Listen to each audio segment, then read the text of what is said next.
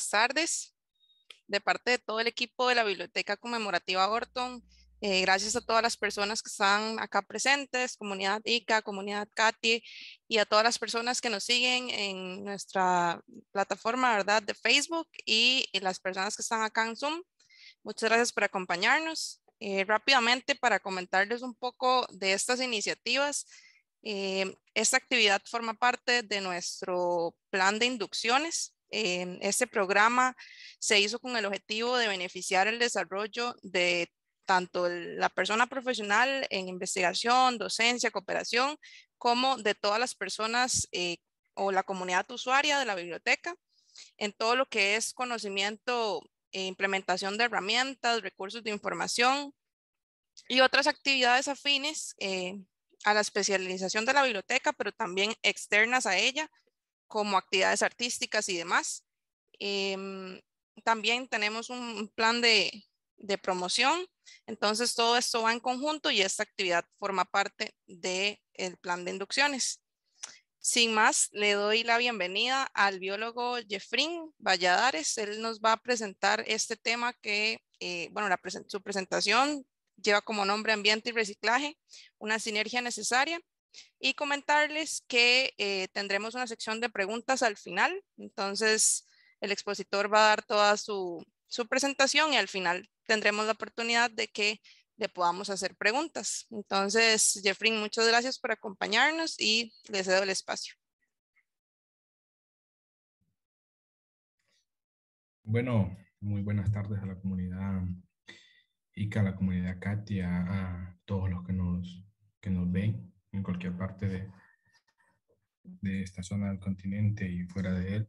Eh, mi nombre es Jeffrey Valladares, yo soy biólogo, actualmente soy estudiante del de, Centro Agronómico Tropical de Investigación y Enseñanza CATE, en lo que es la maestría en gestión de cuencas hidrográfica y que hoy, eh, gracias a la invitación de lo que es la Biblioteca Orton, voy a poder eh, mostrarles una, una, charla amena de lo que es reciclaje. Es una charla que, que nos nos va a traer a todos mucha, mucha eh, retrospectiva para que veamos el cambio y la sinergia necesaria que nosotros debemos de tener para con nuestro ambiente. Y una de esas es el reciclaje. Entonces, eh, para, para, tener una, una sintaxis, una comparación entre lo que es ambiente y reciclaje, vamos a ver lo que son estas terminologías definidas básicamente por lo que es eh, eh, la Real Academia. Bueno, ¿qué es ambiente? Ambiente es un conjunto de factores o elementos físicos, biológicos y socioculturales, así se define eh, en, su, en su andar. Para nosotros biológicamente tratamos, cuando hablamos de, de factores físicos, hablamos de biotopos, Okay, en este caso nos referimos a hidrósfera, a geósfera y a la atmósfera, a lo que comúnmente es agua, suelo y aire. Entonces, a eso nos referimos con la parte, una parte del ambiente, lo que conocemos como biotopo, el factor físico. Mientras que ese factor físico también tiene influencia entre un subsistema que se conoce como biosfera, que son los elementos vivos, en este caso plantas, animales y hasta los microorganismos. Pero en un conjunto más holístico, una, una perspectiva más, más generalista, nosotros podemos identificar que dentro de un ambiente no solo existen eso, sino que también existe la parte sociocultural que nosotros, nosotros somos los que ofrecemos esa parte a lo que es el, el ambiente. Mientras que también tenemos que definir qué es el reciclaje. El reciclaje es el reprocesado de todos los materiales, tanto los materiales que se producen en la naturaleza como desechos, ¿ok? Y los residuos sólidos que nosotros como humanidad o como proceso antropogénico podemos producir en nuestro ambiente. Eh, dato curioso, dato curioso, yo, eh, ustedes saben, los dinosaurios existieron en la época mesozoica hace que 250 millones de años y que eh, dominaron prácticamente mucho de lo que es eh, la época triásica. Entonces, ellos sufrieron una extinción cerca de la, de la era mesozoica, a inicios de ya, del Cenozoico, hace 65 millones de años.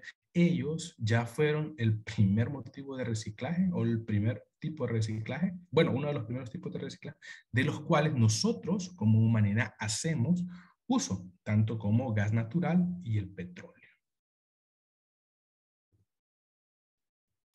Un poco de historia. Bueno, eh, hace 500 años, antes de Cristo, ya los griegos eh, tenían establecido dentro de sus, de sus leyes que debería de haber un recinto o un lugar específico donde pudiera haber eh, la deposición de la basura.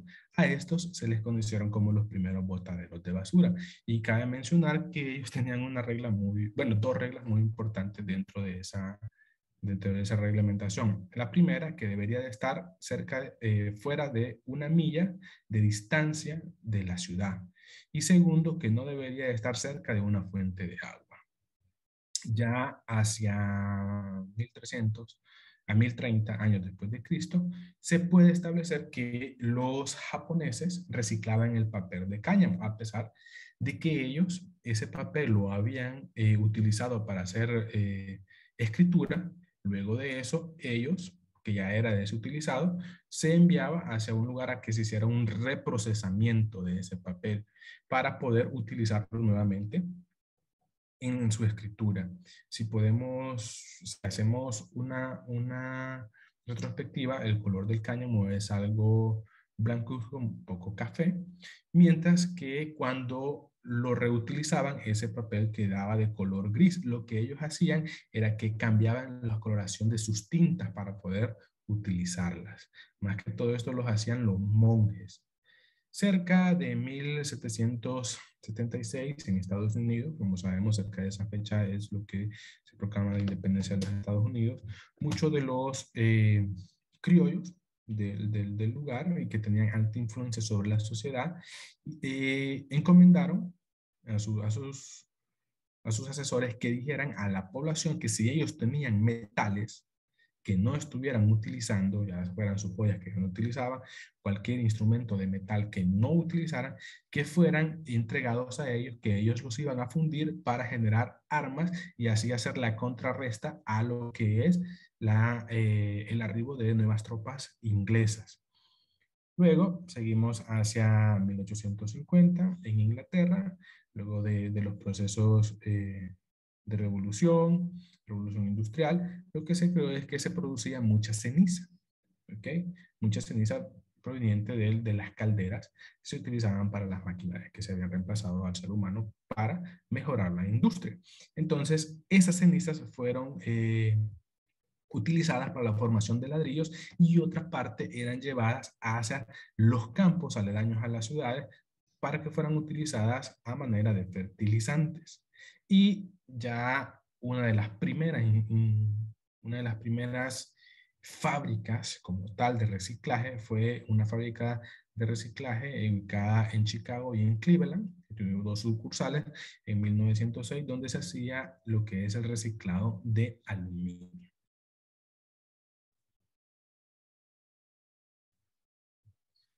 Eh, importante también mencionar cuál es el origen del logo de, de, reciclado. Aunque ustedes no lo crean, el, el, logo de reciclado fue creado allá en la década de los 70 por Gary Anderson. Gary Anderson fue una persona que trabajó eh, mucho tiempo en esto de, impulsar el reciclado. Gary Anderson eh, estaba en, en, la Universidad de Michigan y él y su profesor un día, así sentado charlando y hablando sobre, sobre reciclaje como tal, vieron un, un patrón muy interesante que era un patrón cíclico. A esto se le llama la banda de Mobius. El Mobius, como ustedes pueden observar en esta imagen, como ustedes pueden observar en esta imagen, es una cinta normal, la cual pasa por una serie de dobleces y que esos dobleces indican un patrón. Y si ustedes se fijan, ese mismo patrón circunciso que se da aquí es sobre un ciclo, lo cual indica que el reciclaje debería de ser algo cíclico. ya tenemos que de, definir que el reciclaje no es de ahora, sino desde hace mucho tiempo. Pero que como tal, como, como tal nosotros como sociedad, es algo que comenzó ya en la década de los 50 y que ha ido evolucionando poco a poco hasta lo que tenemos como hoy las grandes industrias recicladoras. Entonces es muy interesante ver cómo en realidad se llama o de dónde viene el principio del icono de reciclaje, que es un principio matemático, como sabe la banda de Mobius.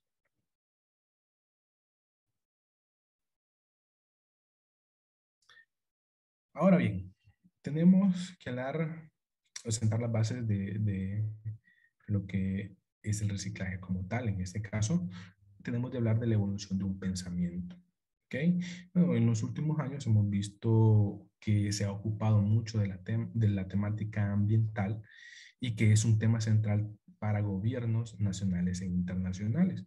Entonces, esto nace prácticamente con lo que es la cumbre de la cumbre científica de Estocolmo allá en 1972, donde ellos hacen cosas importantes, establecen los principios de la conservación, ¿ok? Hablan sobre las mejoras del medio ambiente. En este caso solo hacen referencia al medio ambiente humano, tal, ¿ok? Y la tercera, hablan por primera vez de cambio climático. ¿Ok?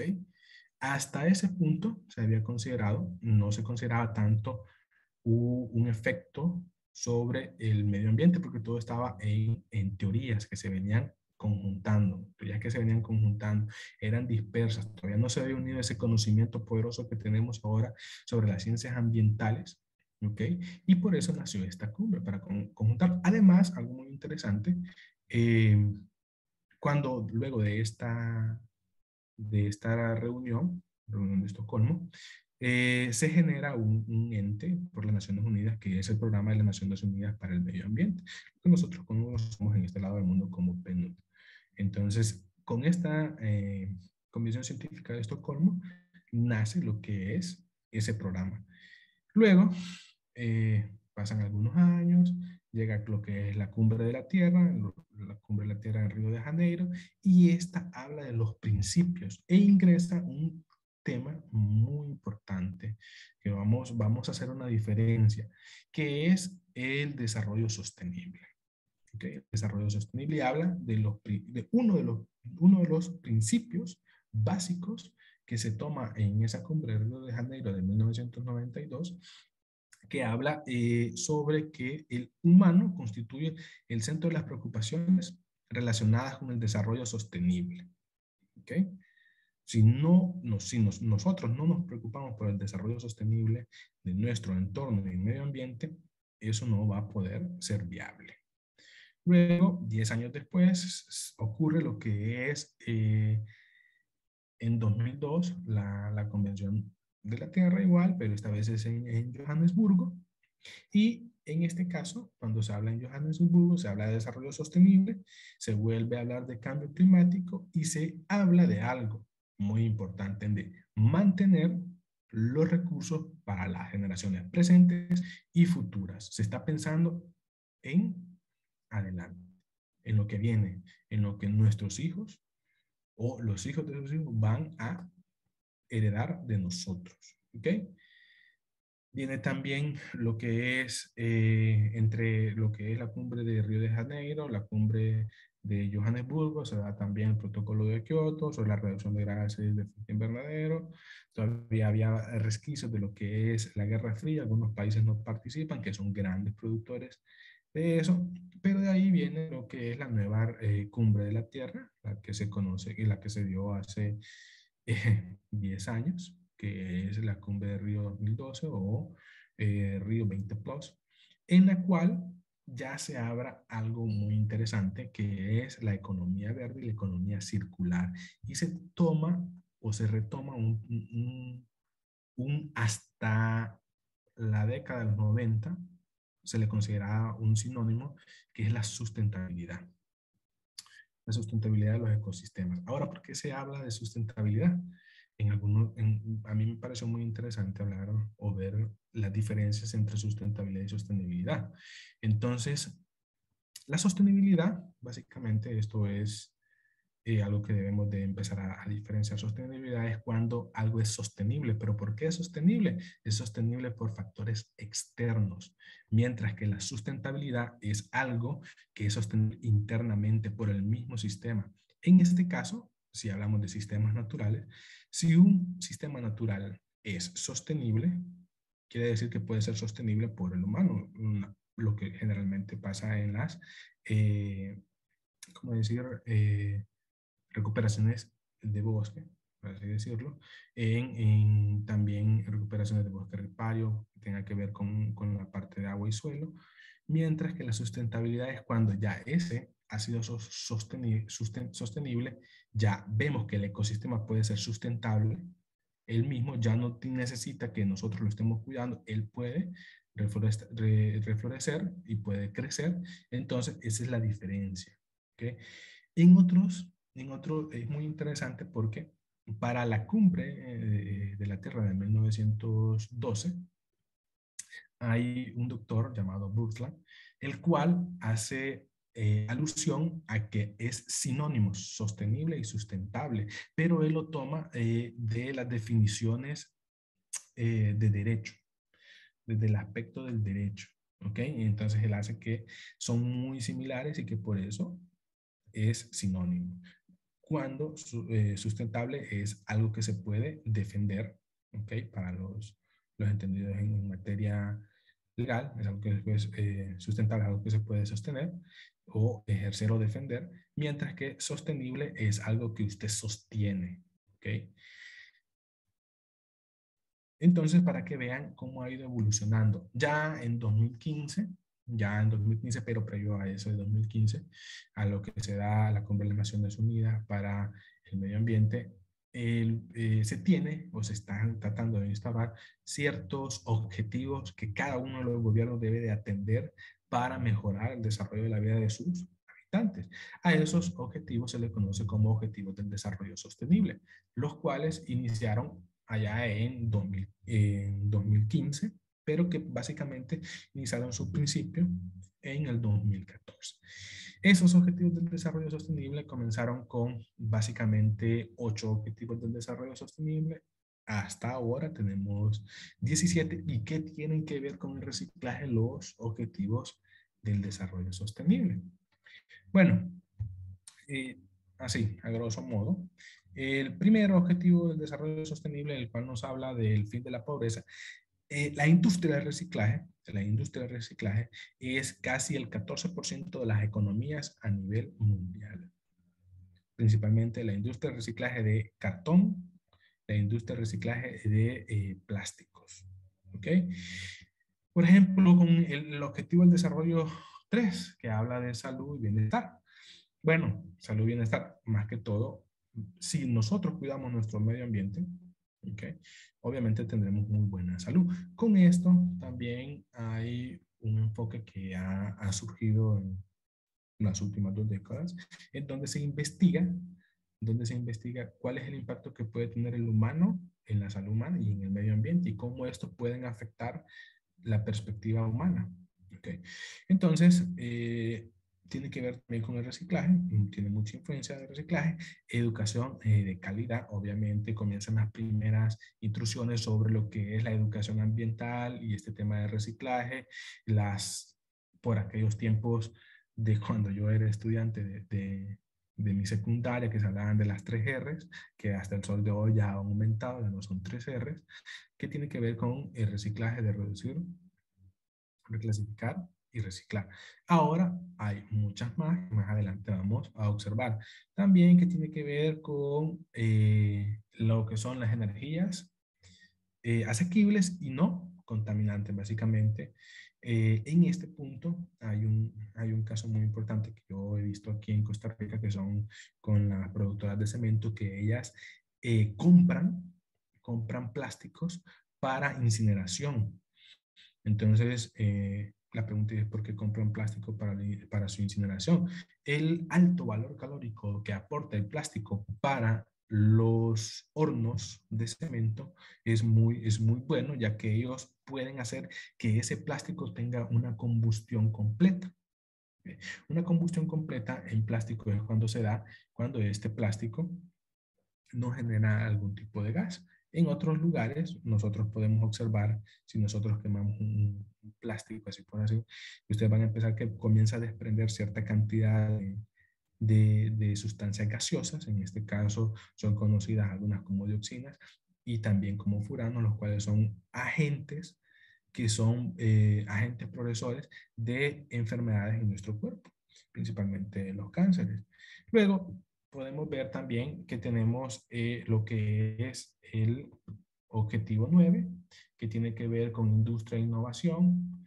Cuando hablamos de industria e innovación, obviamente las tecnologías han ido evolucionando, han ido desarrollando nuevas formas de reciclaje a una de las industrias que se ha venido muy, muy, muy, muy aprovechada por esta, por esta nueva eh, escuela del reciclaje son eh, lo que son las casas de moda, los cuales ahora producen eh, prendas de vestir que tienen que ver con, con el reciclaje de plásticos. Hay una que se llama Eclop, que es, muy conocida en Europa, y también yo conozco una, una tienda de ropa colombiana, la cual es artesanal de paso, y que eh, dicha persona utiliza fibras de plástico para poder eh, realizar sus prendas.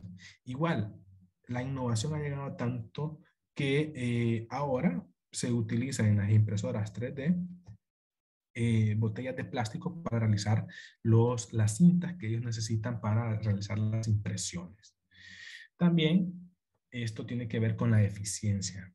En la eficiencia en los procesos de reciclaje y también en la eficiencia en no usar cualquier eh, tipo de residuo que pueda seguir aumentando la cantidad de residuos sólidos que podamos producir nosotros como, como sociedad. También tenemos lo que es el objetivo número 12, que habla de la producción y el consumo responsable. La meta es no consumir. No aumentar el consumo. Esa es una de las metas, no aumentar el consumo de dichos, eh, de dicho vaya, de dicha bolsa. Costa Rica tiene un plan muy interesante que me, me, ha gustado a mí, de que yo he venido y que me ha costado mucho eh, acotarme porque en mi país eh, se usa bastante todavía bolsas de plástico.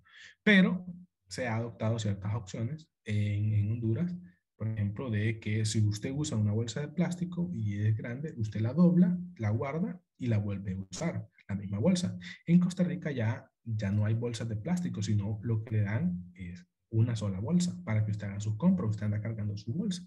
Entonces, es lo mismo, solo que la bolsa que nosotros usamos, al final siempre la vamos a tener desechando porque nos va a durar dos, tres salidas, mientras que la bolsa que nosotros compramos en el súper nos puede durar más tiempo. ¿Ok? Eh, luego tenemos también con lo que es acción por el clima, las reducciones de gases de CO2, okay, el consumo, el consumismo, evitar el consumismo, que es algo que afecta mucho a lo, lo que, que tiene que ver mucho con, con, con esto del reciclaje. Eh, tanto la vida submarina como la vida terrestre se ve también afectada por, por por muchas veces cuando nosotros no hacemos bien nuestro reciclaje, que más adelante vamos a tocar un tema sobre lo que es la isla de plástico y la vida, cómo se ve afectada la vida marina, la vida terrestre también, principalmente con la contaminación de suelo y contaminación de agua, hay una contaminación visual también. Y el, el 13 tiene que ver con las alianzas objetivas entre, entre gobiernos. Obviamente, si un gobierno decide reducir, si un gobierno decide reducir, créanme que será ejemplo para otro gobierno para que decida también reducir, ¿ok? Para reducir sus, eh, sus desechos.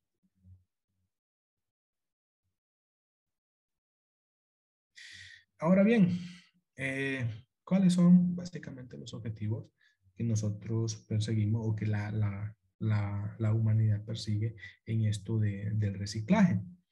Bueno, hay diversos, yo, yo tomé varios objetivos de distintos autores que me parecieron muy interesantes y que primero, básicamente, es evitar los olores desagradables, Lo, después tenemos la, disminuir lo que es la degradación del ambiente, que eso es, eso es lo que todo el mundo anda buscando, eh, no atraer vectores transmisores de enfermedades. Ustedes saben que en, ahorita que venimos en época lluviosa, eh, lo que es eh, los vectores como ser los mosquitos son básicamente ellos en un poco de agua pueden lograr desarrollarse. También lo que son atraer ratas, los residuos, producen cualquier cantidad de enfermedades, reducir la contaminación del suelo, del agua y del aire. Eh, también facilitar lo que es la labor de quienes, de quienes recogen esos materiales. Y esto, esto, es, eh, esto es educación básicamente. Porque si nosotros sabemos por eso yo les, coloqué aquí para que ustedes observaran cuál es el significado de cada uno de los, de los colores que tiene que ver con los depósitos donde se, se desechan los, los residuos sólidos. Entonces, veamos, tenemos el amarillo exclusivamente para plásticos y latas.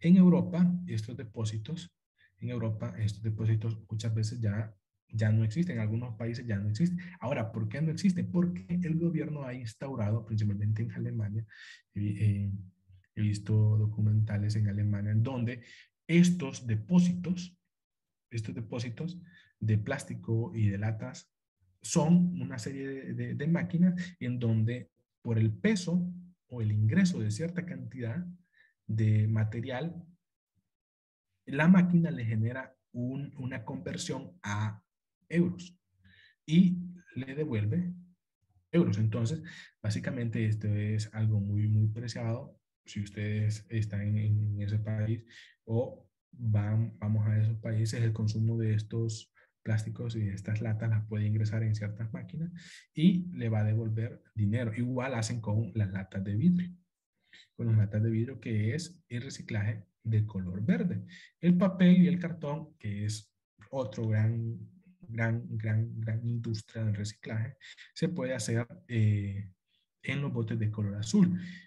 En Centroamérica existe una empresa la cual deja que sus, sus cajas o sus productos de cartón vengan en una caja y que dure la caja seis meses antes de ser reciclada y volver a generar otra vez la misma caja. Y esta es eh, lo que se conoce como creo que es la, la, la marca de las papas sabritas. No recuerdo muy bien cuál es el nombre de la empresa como tal, pero la marca Sabritas okay, hace eso. Vuelve a, eh, la caja tiene que durar seis meses con el producto. Entonces se, va se van utilizando, reutilizando cuando la caja ya está rota. ¿sí? Esta se regresa a la empresa y se vuelve a hacer una reutilización, se va a hacer un reciclado y se vuelve a generar otra caja. Eh, materiales peligrosos, que esto generalmente lo vemos en laboratorios en hospitales, los residuos orgánicos altamente reciclables para hacer compostaje y donde podemos encontrar residuos varios. También cabe mencionar que eh, otro objetivo del reciclaje es un ambiente idóneo para la convivencia. ¿Alguno de ustedes, según de ustedes, ha ido alguna vez a un botadero a cielo abierto? Podrá, podrá ver y pararse y decir y sentirse internamente algo agobiado. No es lo mismo como que usted vaya a un lugar donde esté limpio, donde vea árboles. Son dos eh, sistemas muy diferentes, muy diferentes. Entonces, eh, este ambiente idóneo tiene que ver con eso, con la convivencia interna y con la convivencia de las demás personas.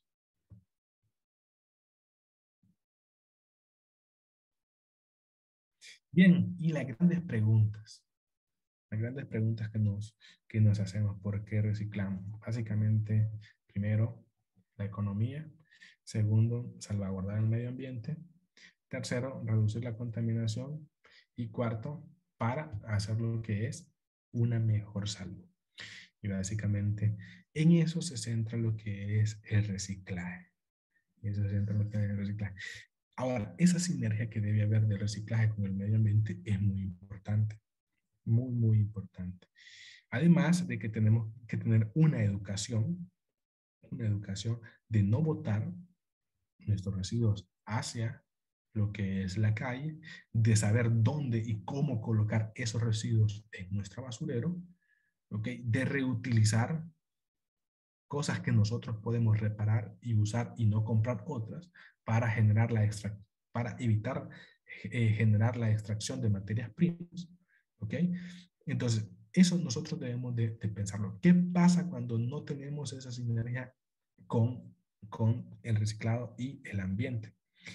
Entonces, eh, veamos, cuando no se hacen bien las cosas, cuando hay un, un, quiebre, hay un quiebre entre esas sinergias. Vean, nosotros podemos desecharlo y lo podemos ver así, en época seca. Vienen las lluvias y vean, ¿qué provocan esas lluvias? Inundaciones. ¿Quién sale perjudicado? El humano. ¿Qué es esto? Esto es, de ahí se vuelve una gestión de riesgo social por desastres naturales. ¿Quién provocó ese desastre natural? ¿O quién ayudó a provocar ese desastre natural? Bueno, aquí lo vemos nosotros mismos, cuando no tenemos ese orden. También la industria eh, del papel, okay, la industria del papel es una de las industrias, el 20% de, de lo que es la deforestación se debe a utilización de lo que es eh, los bosques como fuente de producción para papel. Muchas veces se, se, deforestan lugares donde hay ladera, no siempre es el caso, pero cuando se deforestan lugares donde hay ladera, ¿qué es lo que pasa? Se pasan deslizamientos. A veces no hay pérdidas eh, humanas, solo pérdidas materiales, pero otras veces hay este tipo de pérdidas humanas. Algo muy interesante también es ver que cuando los residuos sólidos son llevados por, por nuestros ríos, cuál será el fin de esos, de esos residuos sólidos. Esos residuos sólidos terminan en lo que es el océano. Terminan en el océano. Eh, importante saber, en el océano hay una mancha que se conoce como el continente de basura, que ya tiene casi 2 millones de kilómetros cuadrados. Muy interesante, se encuentra en lo que es uno de los giros oceánicos uno de los giros oceánicos. Es por eso que él no, no, no, tiene movimiento, sino que está estacionado en un solo lugar. Los giros oceánicos, principalmente en el Océano Pacífico, son, son algo extensos. Y algunas características que dice eh, el Centro del Centro Nacional de Estudios Atmosféricos y Oceánicos de Estados Unidos para 2019, había calculado que había 1.8 billones de objetos 1.8 billones de objetos. Oigan bien, de ese 1.8 billones de objetos, solo 6% eran visibles, que estaban en la parte superficial. El 94% son microplásticos. Los microplásticos es un proceso de degradación que tiene el plástico y que genera, y que, genera que el agua se ponga de coloración oscura, que se ponga un poco turbia, pero que también se bioacumula en lo que son la vida marina cuando están cerca de esas aguas. Y lo que hemos visto a lo largo de, de muchas publicaciones de Greenpeace, National Geographic, de Discovery Channel, que muchas veces las tortugas, que son un, el principal ejemplo, uno de los ejemplos, que las tortugas confunden lo que son las bolsas de basura con medusa, que son fuente de alimento de ellas. Entonces, desde ese punto de vista, ustedes pueden observar todo lo que nosotros podemos crear cuando no tenemos una, una sinergia con, con, nuestro ambiente y la, la, sensación de reciclar. Claro, existiría una mancha, eso es indudable, existiría esta isla, pero no sería de tanta, de tan, tan, tan más, más magnitud. Y cada año sigue creciendo. Vean aquí otro, otro ejemplo de cómo nosotros cuando no tenemos esa sinergia, vean los botaderos de basura. Este es un botadero de basura eh, clásico en, en, en, América en América no hay ninguna organización, no, no hay ningún sentido de organización de los residuos que hay en, en, tal bolsa, nada. Vemos acá, podemos ver bolsas de color verde, no, yo no sé si en realidad son, son vidrios, por acá podemos ver bolsas de color negro, varios. No podemos, no podemos deducir qué, qué es lo que, lo que hay. Ahí cada una de las personas que hacen esa ardua labor por buscar eh, plástico, papel o objetos que se puedan reciclar, metal, cobre, que muchas veces va en estos, en estos botaderos y que van directamente. ¿Qué pasa cuando tenemos, qué pasa cuando tenemos algo que sí es sinérgico? Vean eh, el trabajo.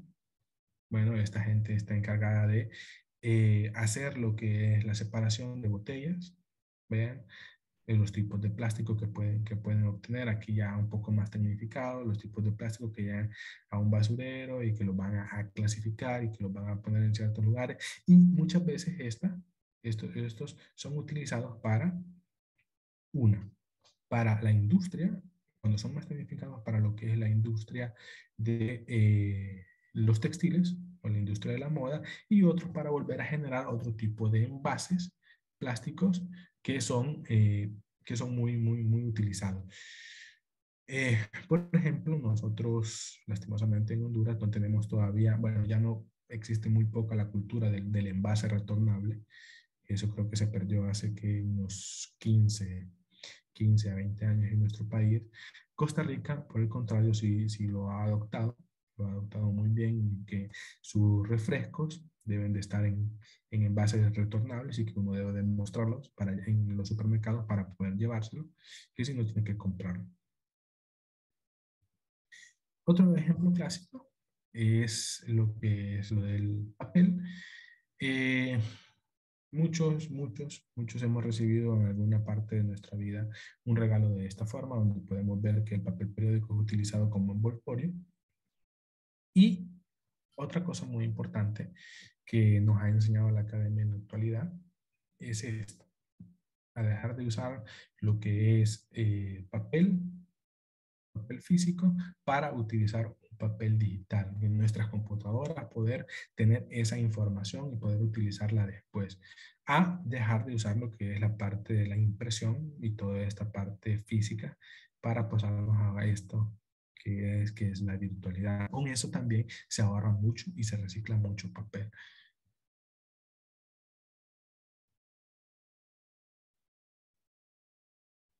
Entonces también importante ver que cuando nosotros utilizamos bien y sabemos clasificar y sabemos cómo utilizar eso, eso que, que, que nos provee los mismos desechos que nosotros producimos y que nos va a causar un beneficio, podemos utilizar, mire, cada uno de los desechos orgánicos que producimos en nuestros, en nuestros hogares se pueden utilizar como compostaje. Ese compostaje a futuro producirá lo que es suelo, ¿ok? Un suelo orgánico, el cual nos servirá para hacer un replanteo, ¿ok? No seguir acumulando esa, esos residuos en, en, un depósito en específico que después producen gases y que después producen malos olores y que también contaminan el ambiente. Entonces, si nosotros lo sabemos utilizar, obviamente, en una sinergia con, con el ambiente vamos a poder beneficiarnos. Y eh, algo que, que, yo, o que me ha gustado mucho en una clase que yo llevé es un término que se está utilizando que se conoce como ecosaneamiento y es una manera de reciclar en nuestros hogares, una manera específica de hacer un tipo de reciclaje de nuestros hogares, hacer algo muy, muy, muy, muy ecológico, que donde ustedes vean principalmente que tiene que ver con el agua y con la materia orgánica que nosotros producimos, que hasta las aguas grises pasan a un proceso de sedimentación, que pasan por un proceso de filtrado y este filtrado puede ser a través de carbono, que puede ser a través de arena, para que se produzca un tipo de agua y que esa agua pueda llegar a un tipo de jardinera y que esa, esa agua pueda fertilizar la jardinera en específico y que también parte de la orina pase a un tanque de sedimentación, pase por un filtrado y que llegue a esta jardinera y nos aporte nutrientes y que esa jardinera eh, genere eh, alimentos que nosotros luego vamos a consumir. Obviamente, obviamente todo tiene sus medidas, debe de pasar un proceso de, de observación patológica para evitar cualquier tipo de enfermedad y que haya procesos de bioacumulación en, en, en, los, lo que nosotros vamos a consumir. Se puede hacer también con nuestras heces, se puede hacer compostaje, solo que este es un poco más, más extenso, llegan más procesos. ¿ok? Entonces, eh, el ecosaneamiento es una manera de reciclaje que nosotros podemos implementar básicamente en nuestros, en nuestros hogares, en nuestros hogares y que está constituido a eh, una economía circular.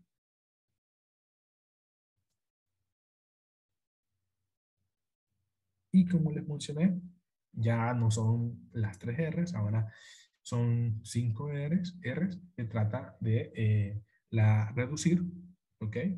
Reducir o simplificar el consumo de todo aquello que se compra o que se consume. Recuerden, vivimos en una sociedad consumista. A veces compramos cosas innecesarias y que a la final eso tiene un impacto sobre el ambiente. Porque si nosotros seguimos comprando que es innecesario, se va a seguir produciendo, se va a seguir extrayendo materias primas. Esas materias primas van a iniciar a generar una serie de, de problemas y todo eso que hace falta en, en el ecosistema. Rechazar. ¿okay? El mejor residuo es el que no se, el que no se llega a producir. ¿Ok? Y eso se trata de rechazar. El mejor residuo es aquel que no se llega a producir. Tenemos reparar. Muchas veces en, nuestro, en nuestros hogares eh, hay muchas cosas que nosotros somos humanos con suficiente y vasta inteligencia para repararlo, pero lo que hacemos es mejor comprarnos otro, mejor comprar nosotros, reutilizar. ¿Ok? Reutilizar es aquello que se vuelve a utilizar. ¿Ok? y reciclar. ¿Okay? Y reciclar es aquel tipo de material que nosotros ya tenemos en nuestros hogares y que se puede utilizar para otra cosa. Eh, algo muy interesante que he visto que se está utilizando mucho en Honduras es que eh, las llantas, con las llantas de, de carro ya viejas, se están haciendo esculturas. Entonces, esa es una manera de reciclar. Se están haciendo esculturas, las cuales son eh, impulsadas por algún tipo de cooperación internacional y que han sido eh, llevadas hacia otros países como exposiciones. bueno, de hecho, en el lugar donde yo soy hay, varios artesanos de esculturas que utilizan las llantas para, para ese tipo de artes.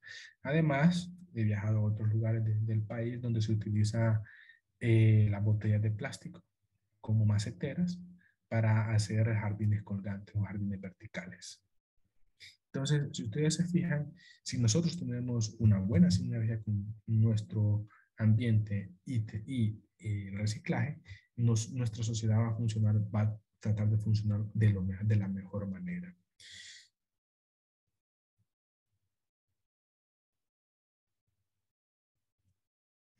Bueno, entonces eso ha sido básicamente lo que yo les quería platicar acerca de lo que es el reciclaje y esa sinergia necesaria que nosotros debemos de tener para evitar problemas en un futuro. Muchas gracias a Jeffrey por tan importante información. Eh, ahora vamos a abrir un espacio de preguntas. Pueden dejarlas acá en el chat de Zoom o bien en el chat de Facebook. Ya sea, o, o bien pueden abrir el micrófono y, y hacer su pregunta.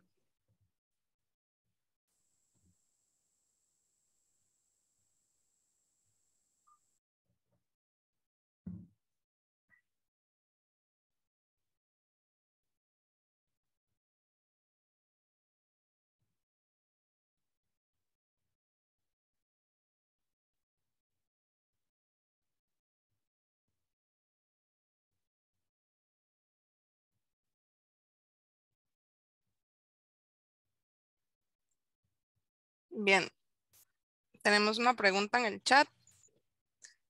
¿Existe algún país centroamericano que tenga una estrategia nacional de gestión de residuos? Eh, básicamente todos los países tienen estrategias nacionales sobre lo que es los residuos y que están enmarcadas en lo que son los objetivos de desarrollo sostenible. Eh, Costa Rica es el que cumple, cumple con la mayoría de, de, de esos de ese papel. Básicamente está casi en el, casi en el 60% de estas, estas políticas. Le sigue Panamá, allá estamos un poco, un poco atrás, Honduras y El Salvador. Todavía en Nicaragua no se tiene, no se tiene alguna información sobre, sobre esto, pero sí, la mayoría de, de sus, los países tiene en su, en su saber esta política. Es más, eh, Guatemala en 2021 implementó que fuera necesario que en cada uno de sus ríos que tienen desembocadura sobre el Atlántico y el Pacífico, se les colocara un sistema de biobardas para la retención de, retención de estos sólidos y que fueran utilizados para eh, los sólidos que se, se, capturaran en esas biobardas, que son estructuras de retención, fueran capturados y utilizados para lo que es el reciclaje de plásticos y eh, metales, porque en, algunos casos llegaban algún tipo de metales, en, en el caso de que hagan objetos que por dentro tenían metales como cobre, pedazos de computadoras o, cosas así llegaban, entonces eran detenidas por la biobarda, entonces eran incluidas. Pero uno de los que tiene mayor avance en sus políticas de residuos sólidos y que trata de reducir eso es Costa Rica.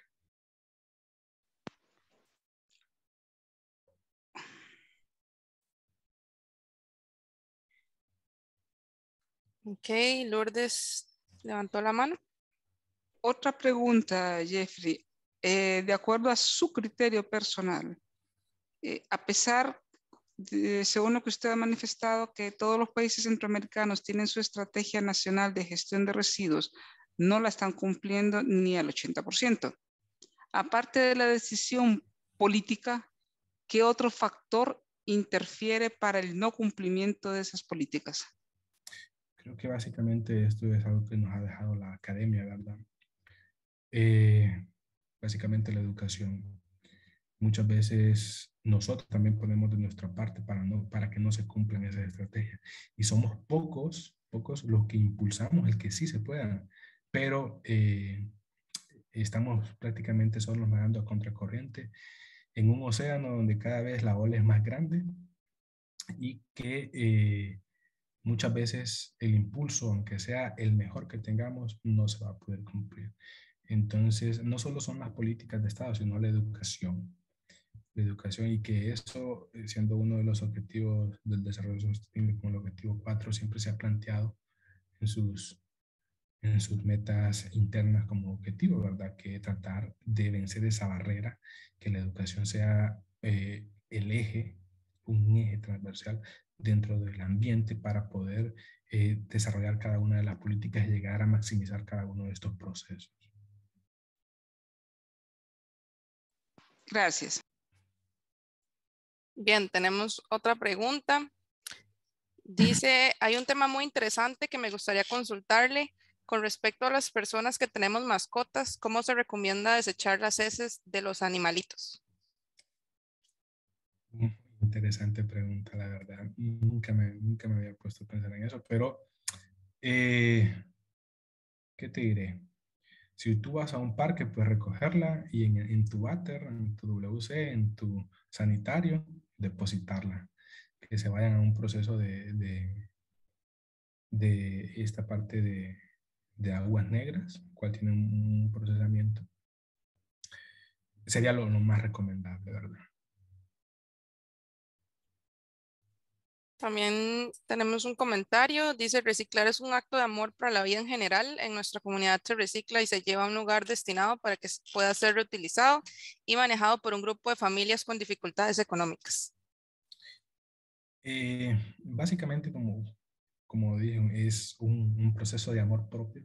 Si nosotros no comenzamos a adoptar ese tipo de, de actitudes, de tener amor propio, amor propio por, por nosotros, eh, este planeta, este planeta se va a, a, ir en una dirección que no nos va a gustar dentro de unos 20 años. Recordemos que eh, los, estos escenarios de cambio climático también muestran que eh, todo lo que, lo que nos va a suceder son escenarios, son estadísticas, pero que la estadística es muy válida. Y sí, eh, qué, qué, buena, qué buena actividad que una actividad la que tienen ellos de hacer un reciclaje. Y créanme que se siente muy satisfactorio muchas veces de que usted lleva una bolsa, una bolsa con algo y, y la quiere tirar. No, ¿sabe qué hace uno? Uno agarra su bolsita de plástico y la comienza a doblar y la hace un papelito, le hace un chonguito y se la mete en la bolsa. Se siente muy satisfactorio. En mi familia se hace eso. Creo que yo he visto muchas compañeras en mi campus que también hacen eso y que ahí caminan con su bolsita de plástico, no la voy a botar, y que cuando la necesitamos o que la necesitan, ahí la sacan, va, aquí va. Entonces sí, es muy, muy, buena, una buena definición, es un acto de amor propio que, la que tiene. Bueno, parece que no hay más consultas. Mm, tenemos comentario de Manuel, gracias a Jeffrey, muy interesante su presentación. Y Marco, gracias Jeffrey, muy valioso su aporte. Agradecemos a Lourdes y a Jeffrey por las preguntas y a Ana Cristina, Manuel, Marco por sus comentarios. Bueno, bueno, muchas gracias a ustedes también por abrir este espacio y espero que se sigan vendando las oportunidades para más, más colegas, que más, más personas expongan sus temas, que expongan las necesidades que a veces eh, se pasan ambientalmente y que eh, es, es, muy, muy interesante este espacio que ustedes han abierto. Gracias a Jeffrey, a Marco, a usted, Fabiola, a todo el staff de la Biblioteca Orton por, por la oportunidad. Gracias a usted por su intervención, por todos los, los tips, toda la información que nos brindó. Y por aquí dice sería interesante contar con su presentación, la presentación de PowerPoint. Ok, creo que ustedes la, van a manejar. sí. Orton va, a ser la que la va a tener. Sí, la, grabación va a quedar en, el canal de YouTube y también eh, en Facebook, por cualquier cosa. Entonces, Jeffrey, muchas gracias y muchas gracias a todas las personas que se conectaron. Bueno, Muchas gracias. Entonces, eh, ahí estamos siempre a la orden. Un saludo a todos y hasta pronto. Hasta luego, muchas gracias.